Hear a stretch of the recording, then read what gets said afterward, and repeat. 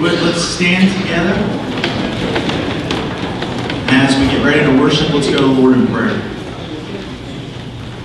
Lord God, we come before you today and we thank you for this day. We thank you for the sun that's shining. We thank you for your church, your people who have come and gathered together to worship and glorify the name of your Son, Jesus. May you be honored and lifted up, and may our focus be solely on you. For it's in your name we pray. Amen. Amen.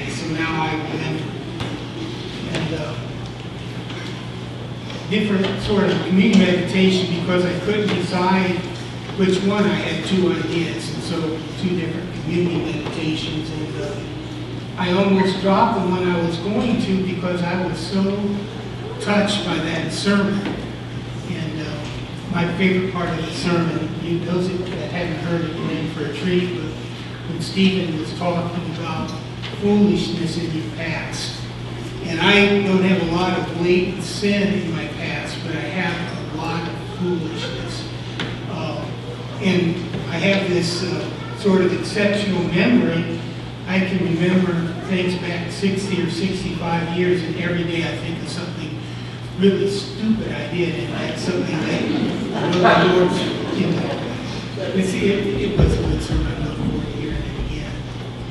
John chapter 14, Jesus is talking about the mansion or the, the homes, the dwelling places that he's built for us as he's talking about heaven and how wonderful it will be that one day we'll all be together in the sweet by and by we'll be with the Lord. And he self-identifies himself in that passage in verse 6 when he says, I am the way, the truth, and the life.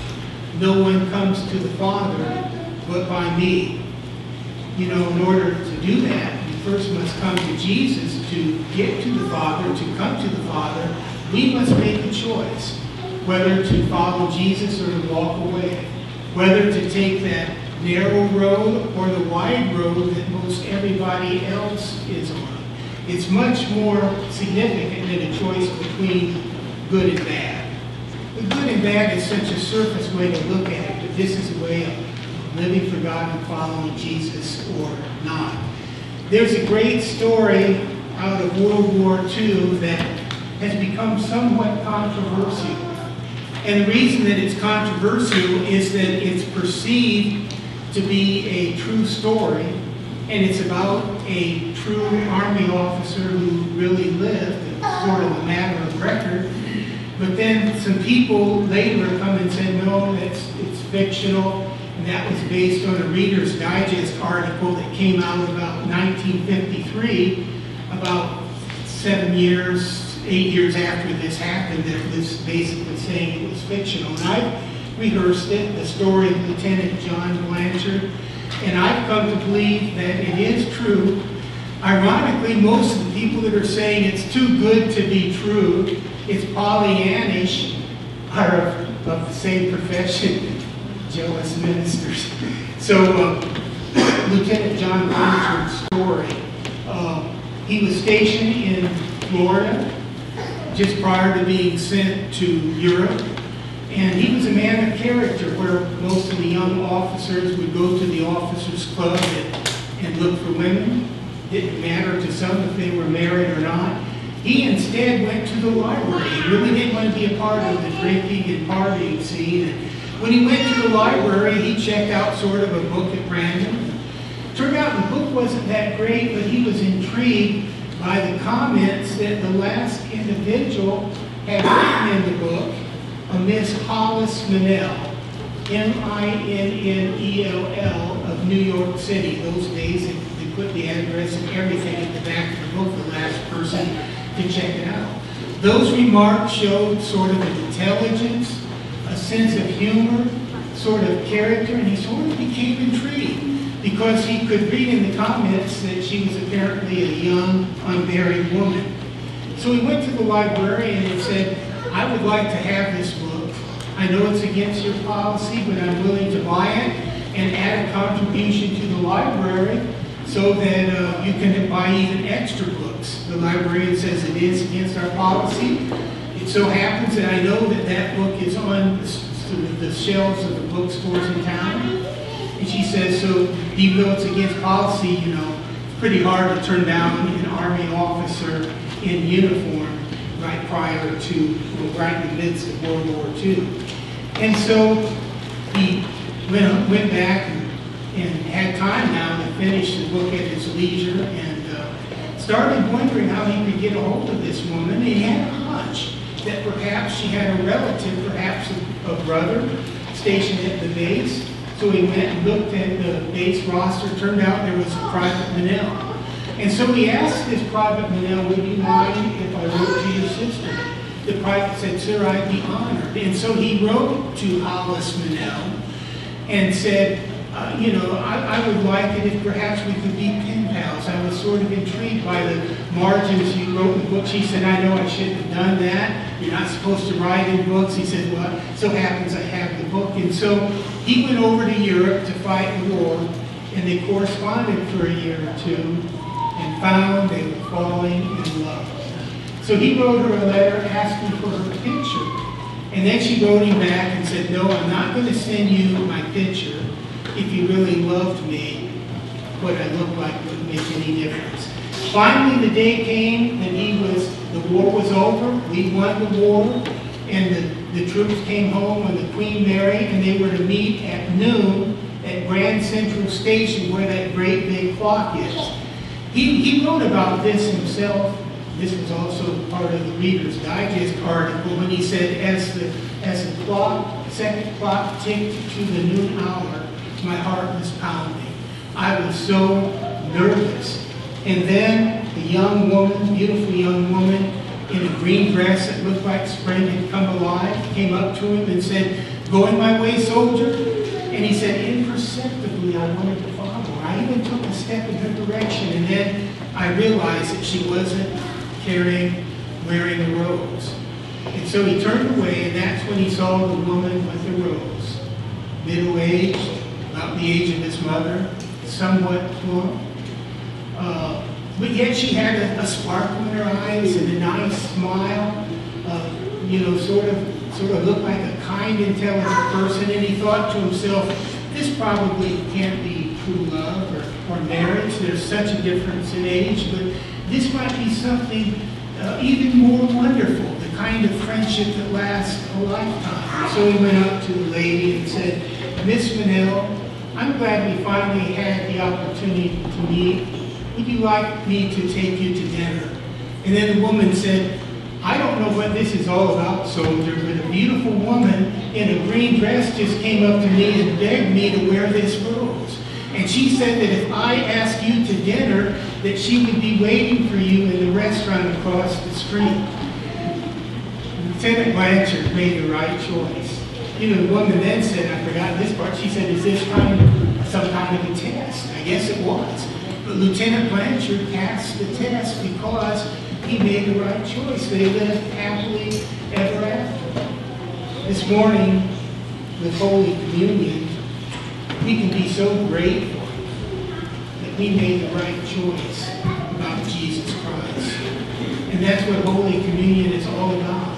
His great love his courageous sacrifice that he made on that cross, and his wonderful resurrection, the choice that he made, and the choice makes all the difference. And we can, those that have not yet made that choice, can rejoice and be glad in the fact that in the near future they have the opportunity to make that choice that really makes all the difference.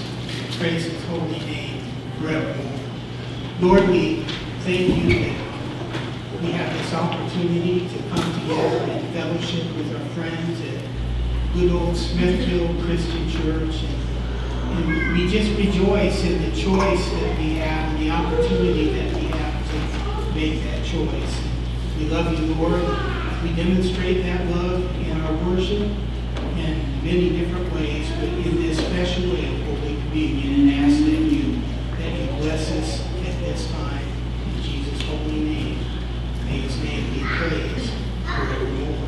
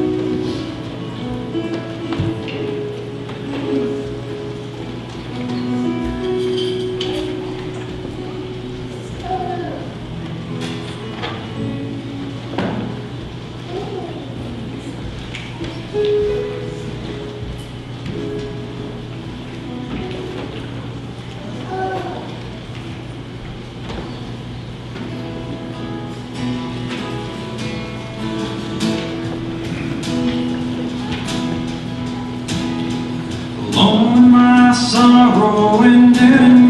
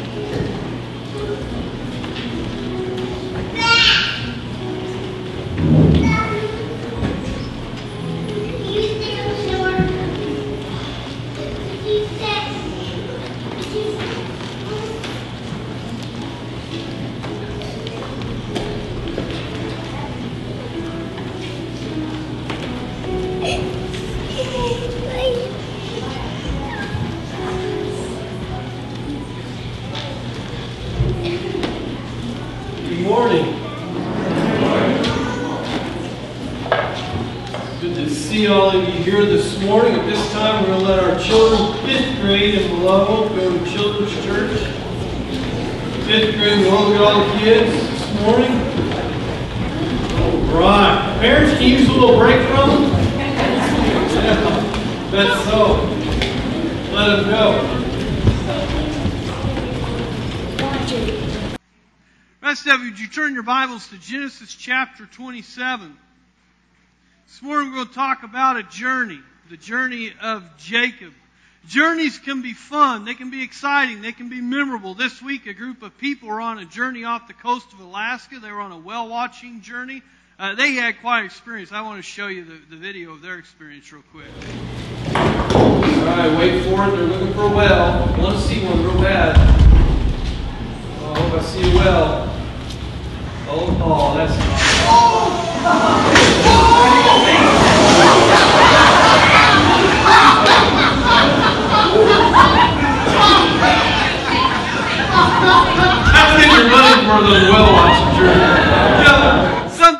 journeys are real memorable. Something crazy out of nowhere happens, and you just have that embedded in your memory forever. And it's usually exciting when that happens, but in other times in life, there are journeys that are memorable for all the wrong reasons.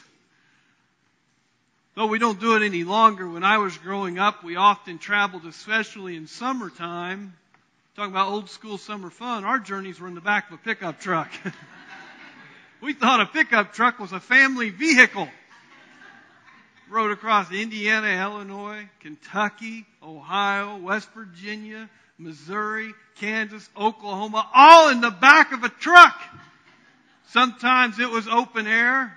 Sometimes it was with a capper. Sometimes it was with a slide in truck camper. And by the way, that was the most miserable time. That trip to Missouri, we called it the trip to misery because it was miserable and memorable for all the wrong reasons.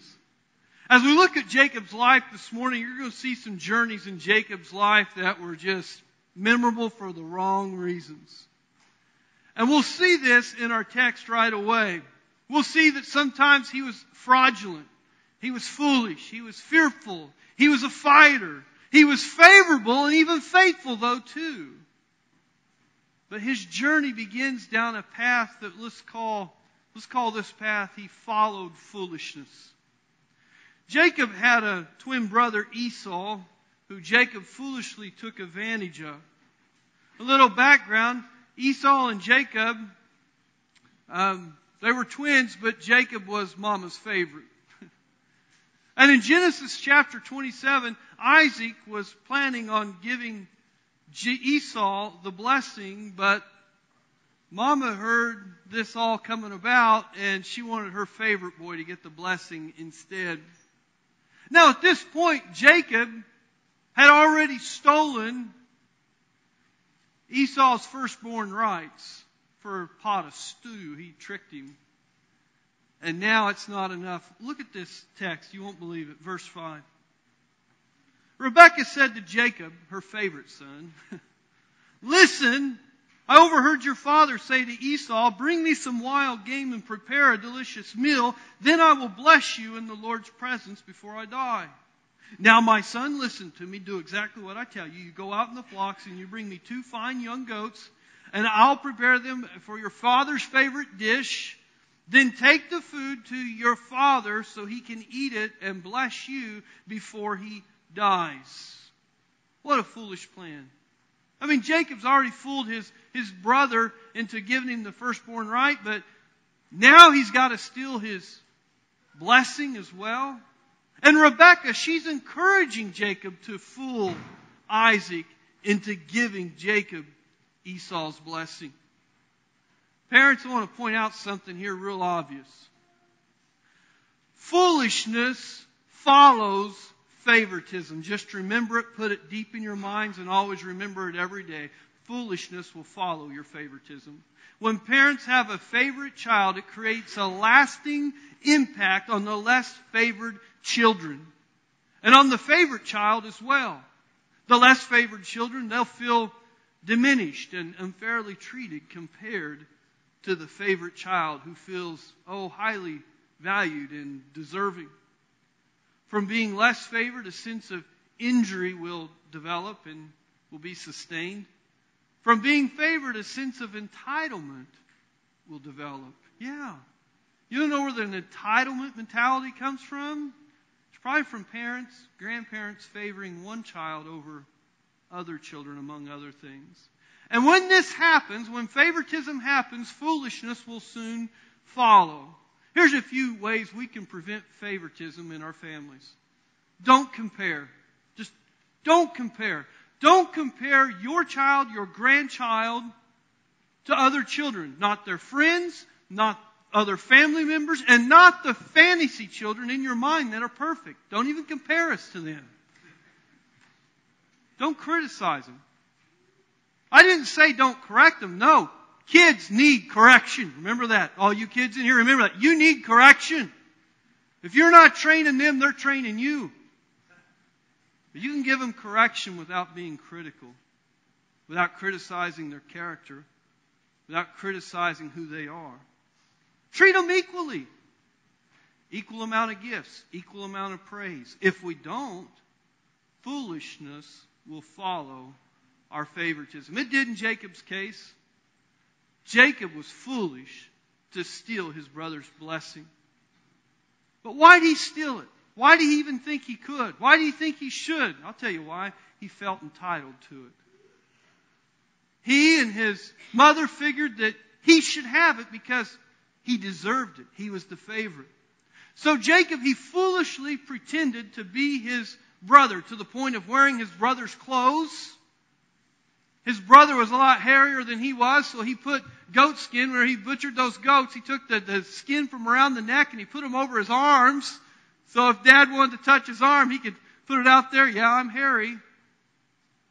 Pretended to be his hairy brother.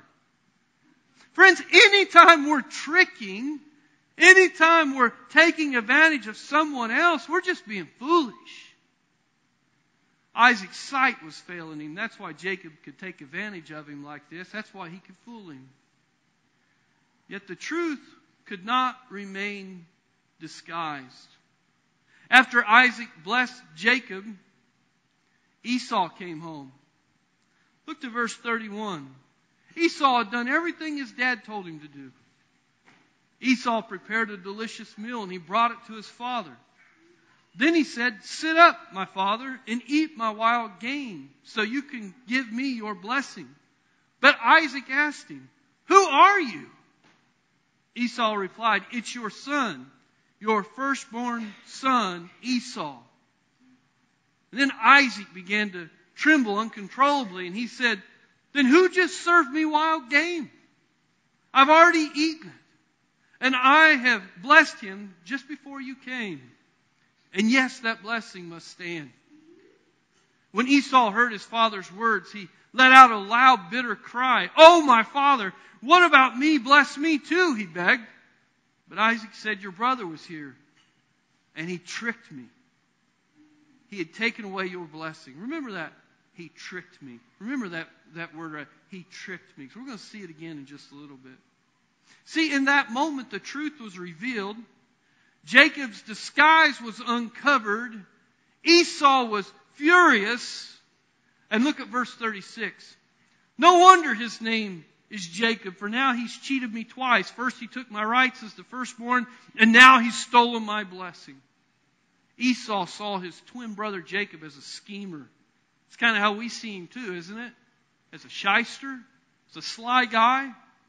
Esau was sick of this foolishness going on. He was tired of it. Verse 41.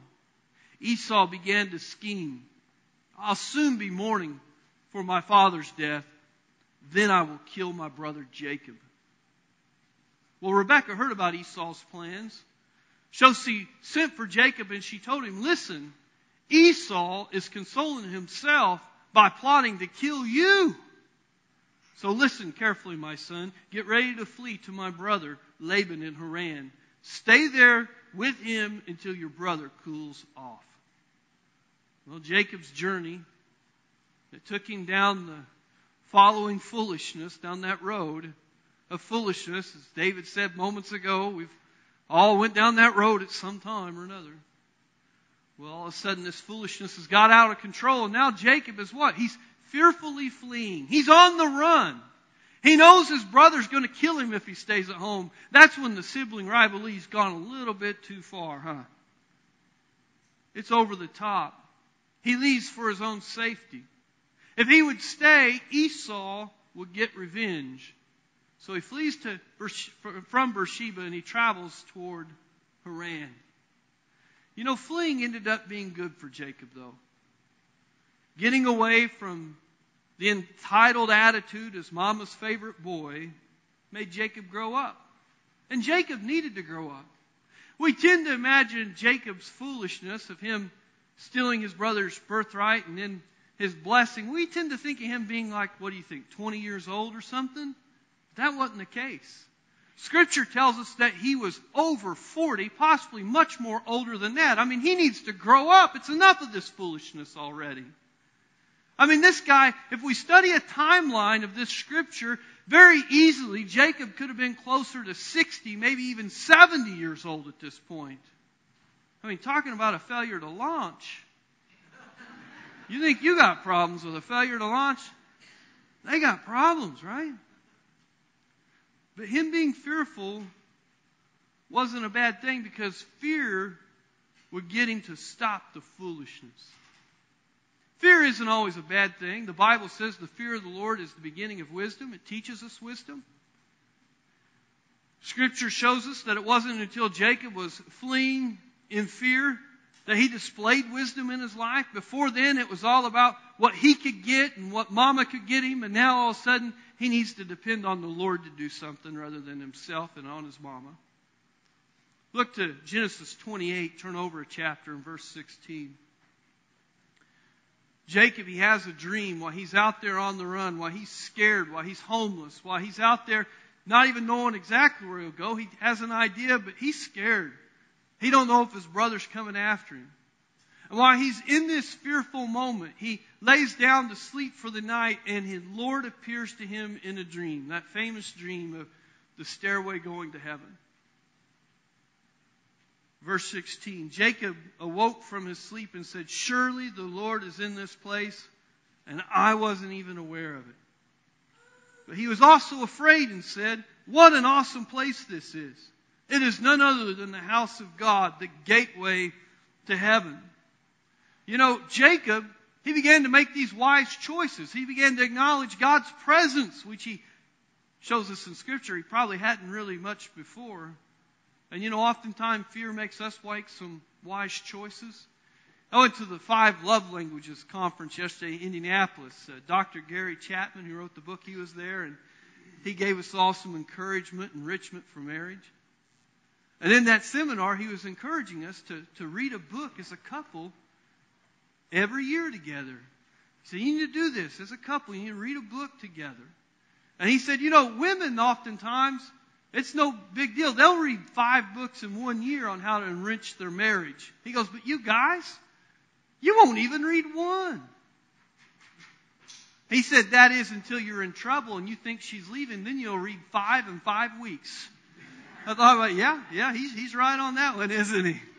Fear isn't always a bad thing. Fear helps us get our priorities in order right away. I can tell you of times that I've witnessed somebody who really behaved rottenly in life. You know what I'm talking about? When somebody just behaves ugly all the time?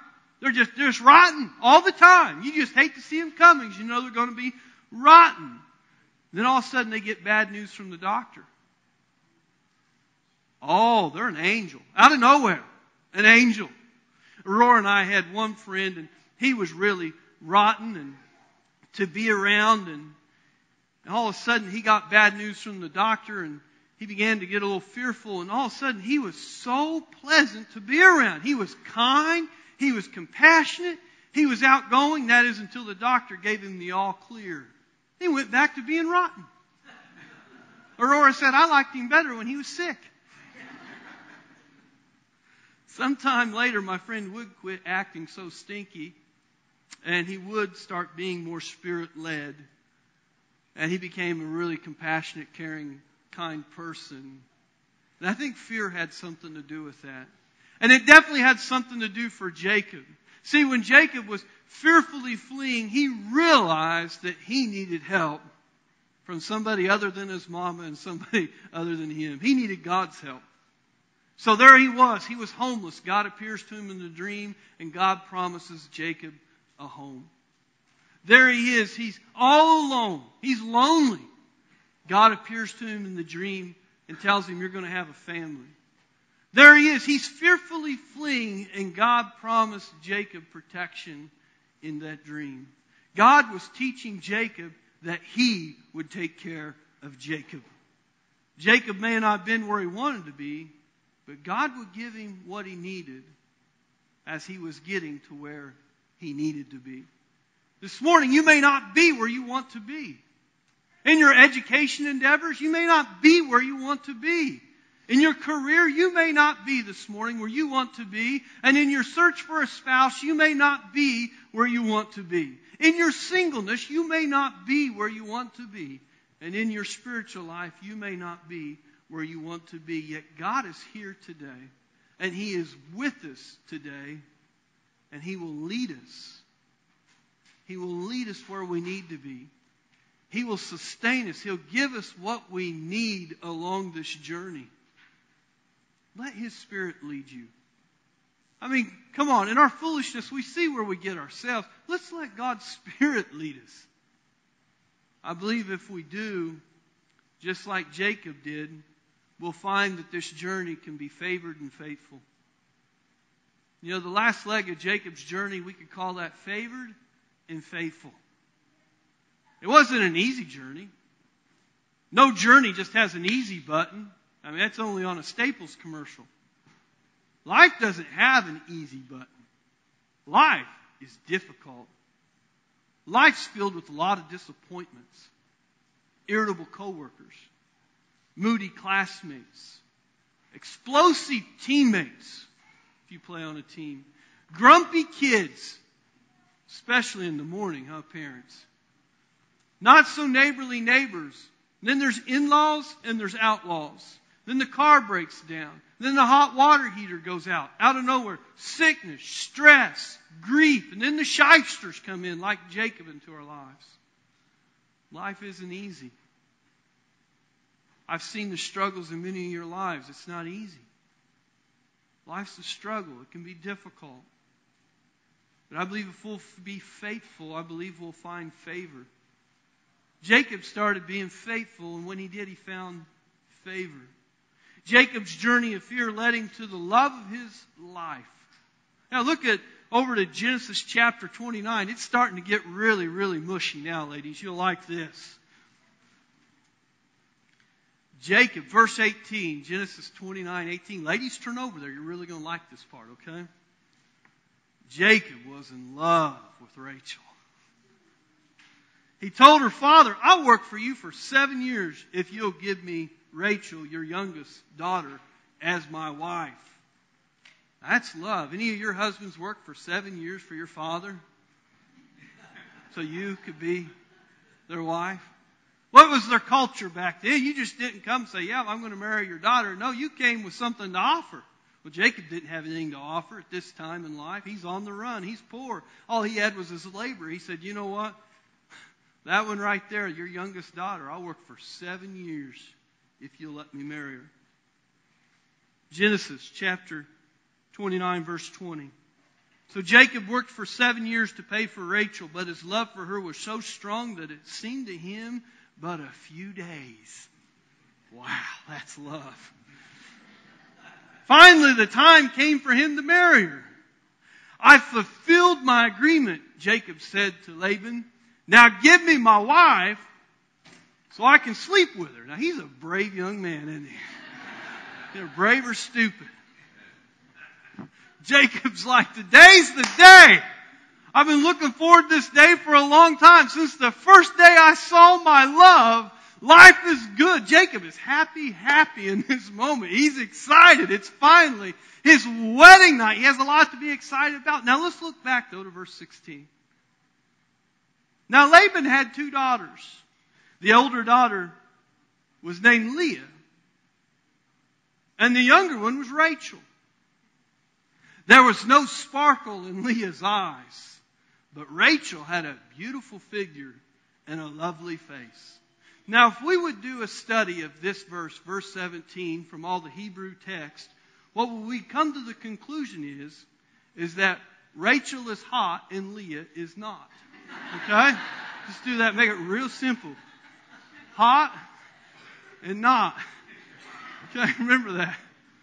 Now let's look on over to verse 22, Genesis 29, 22.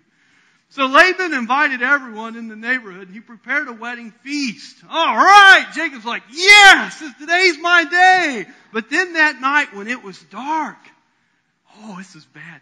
Laban took Leah to Jacob and he slept with her. Did you catch what just happened? Do you remember that word I told you a minute ago when the blessing came around where he tricked Isaac?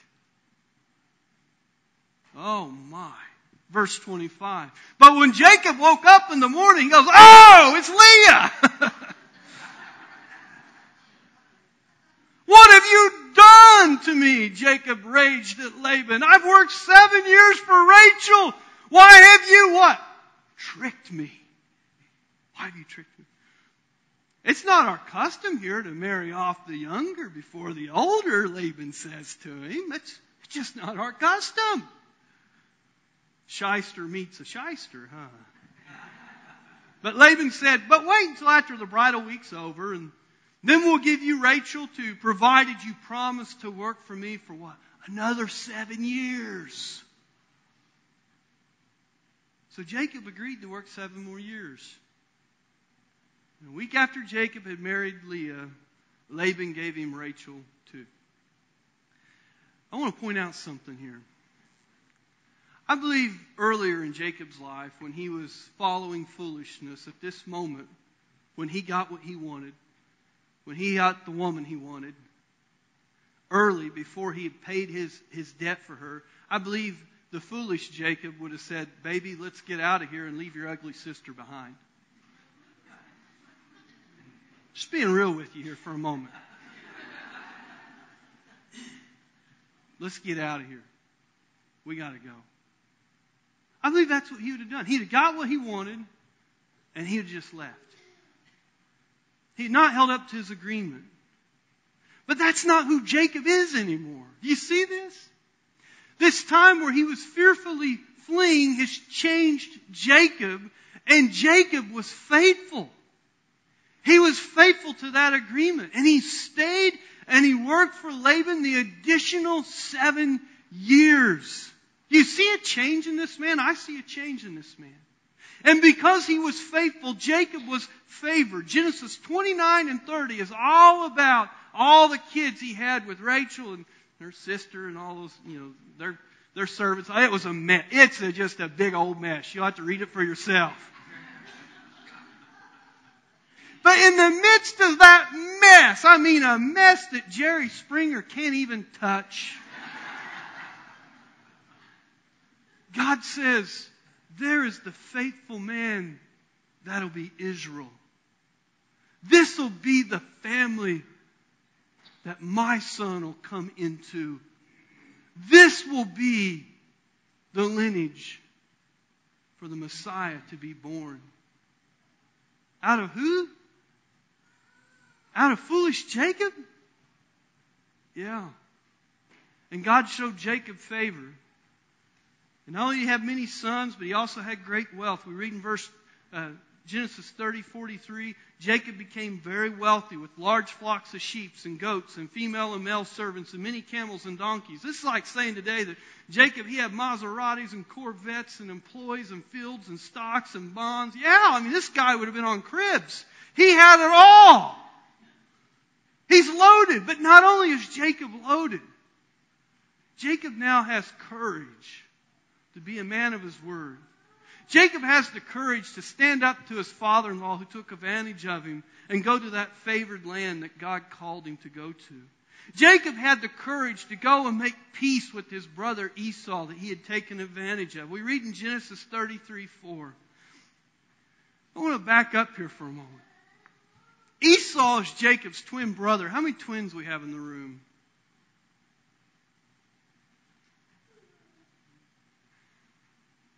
You're closer to your twin than anybody. You love your twin as far as your siblings. You guys have a special bond. Now imagine with me, I know none of you would do this to your twin, but imagine with me that you did your twin completely wrong and you took something from them that was very valuable. And the last time you saw your twin, they said, I am going to kill you. And you ran for your life and you're on the run. I want you guys to imagine this next verse. Because when Esau and Jacob, when they met again, Esau, he ran out to meet him and he embraced him and he threw his arms around his neck and he kissed him and they both wept. The twins were reunited. The twins, all the, the wrong was gone. It wasn't there anymore. And they were just happy to see each other. And that's favor. When you have peace in your relationships with the people you love in your life, that, my friends, is favor. And if you don't have peace in the relationships with the people you love, you know what I'm talking about because no matter what you have, you're miserable because you're not at peace with the people that you love. And that's where Jacob was. And now all of a sudden, what's Jacob? He has favor. He's at peace with his twin brother. He was favored by God. He was given a new name. Genesis 35:10. Your name is Jacob, but you'll not be called Jacob any longer. From now on, your name will be Israel. Jacob's journey of becoming Israel wasn't overnight. It wasn't easy. It wasn't perfect. I'm going to tell you, it was favored. It was favored. Israel means he who prevails with God and overcomes. The church is made up of people like Jacob who prevail with God and overcome. Some of you came here this morning, you had maybe a little thought in your mind that, well, I don't know why I'm going there because those people are all, they're just perfect and they got their lives all together. I mean, just look at them. Look how happy they are. They got it all together. I want you to know, we don't have it all together. We don't have it all together. We're Jacobs. Uh, like David said, we have this foolishness paths that we followed. We have these fears that we faced in life, and luckily we faced those fears because it made us reach out to God. And we're just people who have put our faith in the only one that's truly been faithful in this world, which is Jesus Christ. See, the Bible says, for all have sinned and fall short of the glory of God. Romans 3.23. Like Jacob, we all have foolish sin in our lives. But then the Apostle Paul completes that sentence with this verse.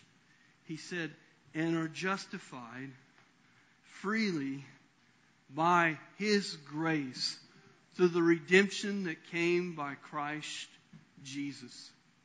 According to Webster's dictionary, to justify means to be free of blame. So when Paul said we've been justified, he said, we're not going to act like Don's phone rang in the middle of church and he ran out and he comes back in. We're just going to act like that didn't even happen. We're not going to look at it. We're not going to make him want to feel embarrassed. He said, No, because you've been justified by the redemption that came through Christ Jesus our Lord on the cross. You've been justified.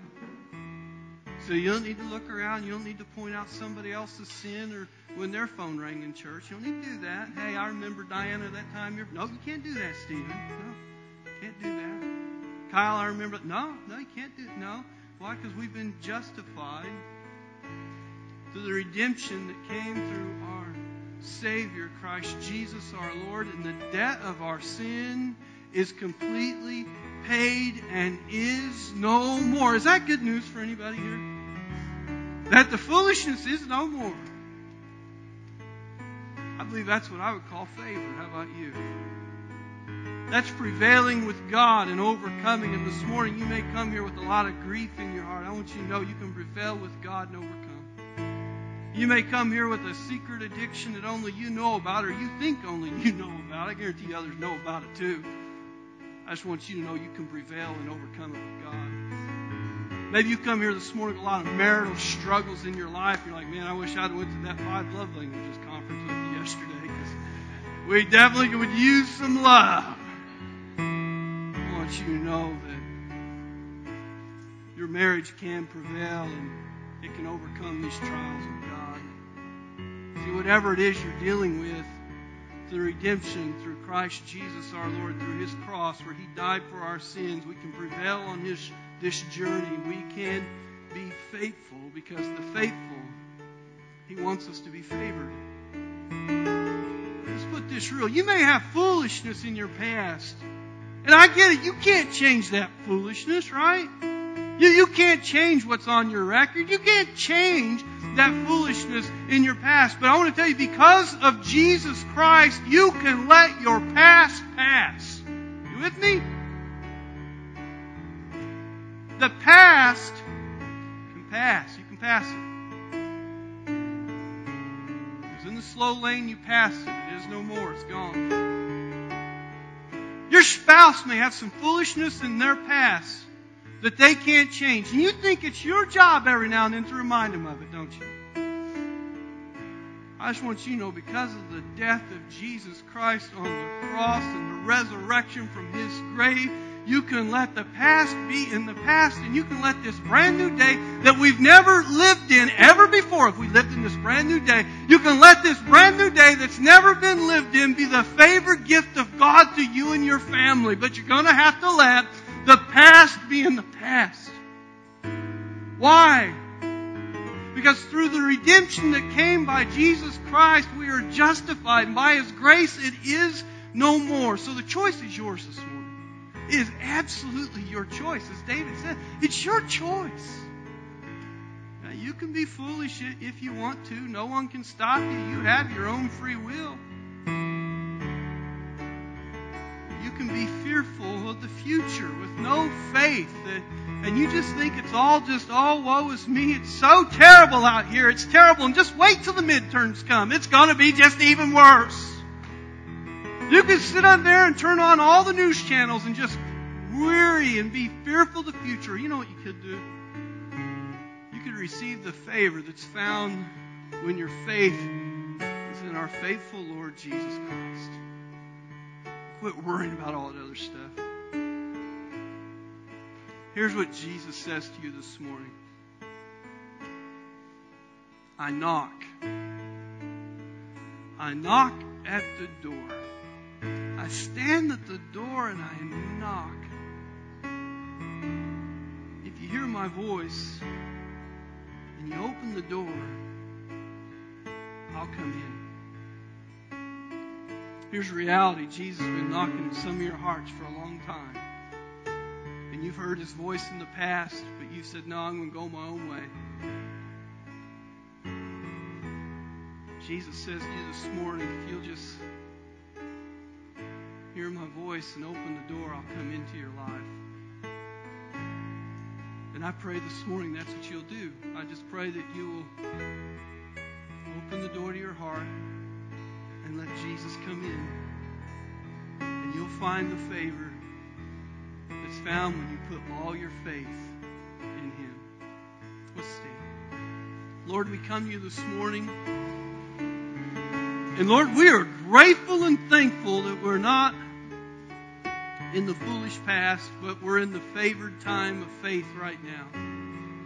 And if there's someone this morning that's never opened that door to you and let you come in, I pray that today will be the day.